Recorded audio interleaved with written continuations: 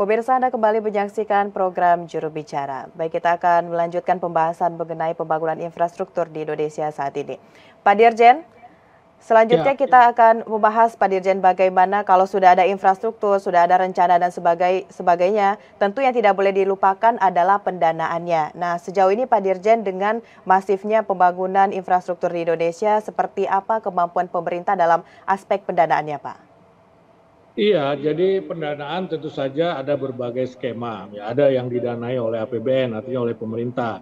Nah, kalau dari APBN kita ini kan untuk 2023 misalnya kita sudah menyiapkan eh, 392,02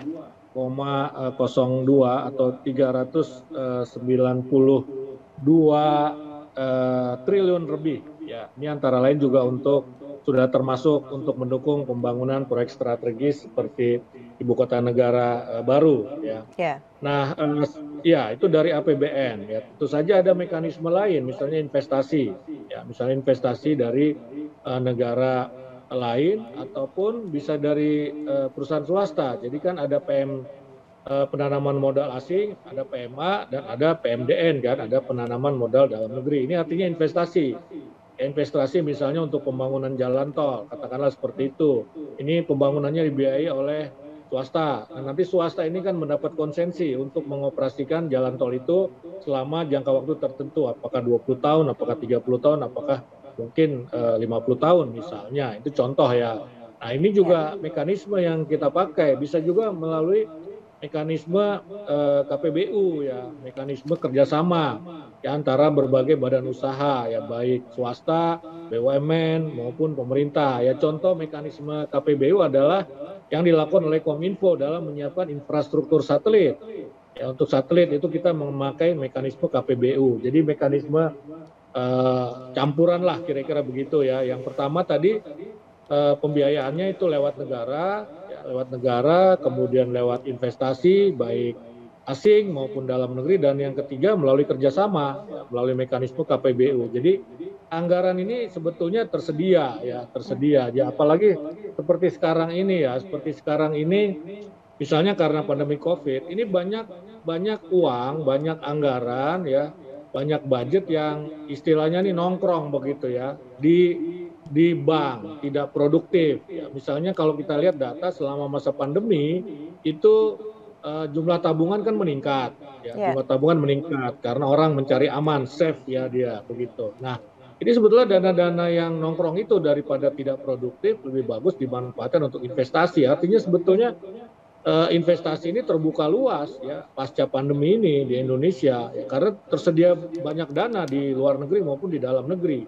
ya, yang bisa kita gunakan untuk pembangunan infrastruktur lewat mekanisme pembiayaan yang kedua yaitu apa investasi uh, swasta dalam negeri maupun asing. Nah ini ini ini yang harus bisa kita manfaatkan ya kita ini kita ini bisa bisa memanfaatkan secara besar ya pasca pandemi karena banyak dana tersedia kok baik di dalam negeri maupun di luar negeri ya.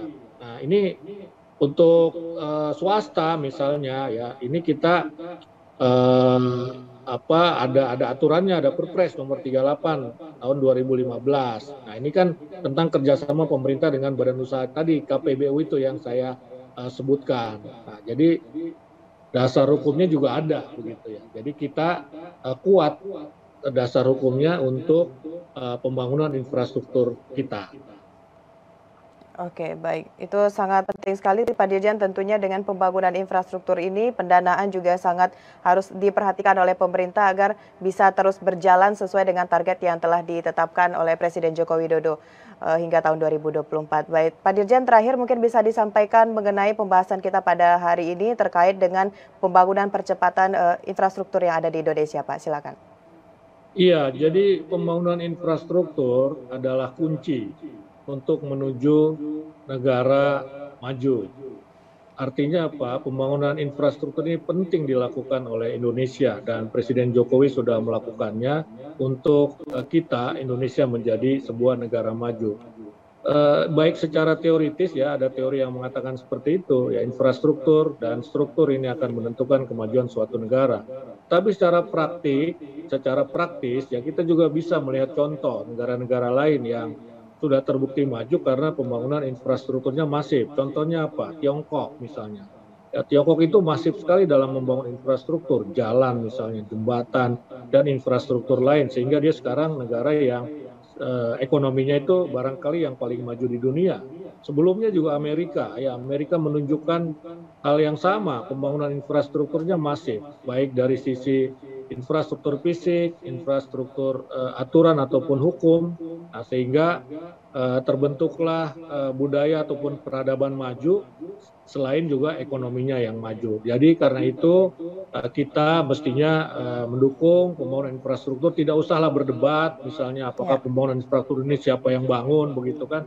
Ya, tetapi saya kira yang penting adalah kita uh, terus uh, lakukan ya, terus lakukan pembangunan infrastruktur. Nanti rakyat lah yang akan menilai, yang akan menilai uh, siapa yang membangun infrastruktur. Tapi kalau kita perhatikan dengan seksama bahwa ya Presiden Jokowi yang memang betul-betul punya program pembangunan infrastruktur uh, secara masif, bahkan juga meneruskan pembangunan infrastruktur yang sebelumnya mangkrak begitu. Baik, kita harapkan tentunya dengan pembangunan infrastruktur ini juga dapat meningkatkan daya saing bangsa serta mempercepat pertumbuhan ekonomi. Begitu ya Pak Dirjen. Terima kasih Pak Dirjen sudah berdiskusi dalam program juru bicara kali ini mengenai percepatan pembangunan infrastruktur di Indonesia. Selamat melanjutkan aktivitas Pak Dirjen. Selamat malam. Assalamualaikum. Waalaikumsalam. Terima kasih Mona. Baik pemirsa, itulah dialog kita dalam program Juru Bicara bersama dengan Dirjen IKP Kementerian Kominfo Republik Indonesia, Bapak Usman Kanso. Terima kasih bagi Anda yang telah menyaksikan. Saya Bona Azarin Sakpamit. Sampai jumpa.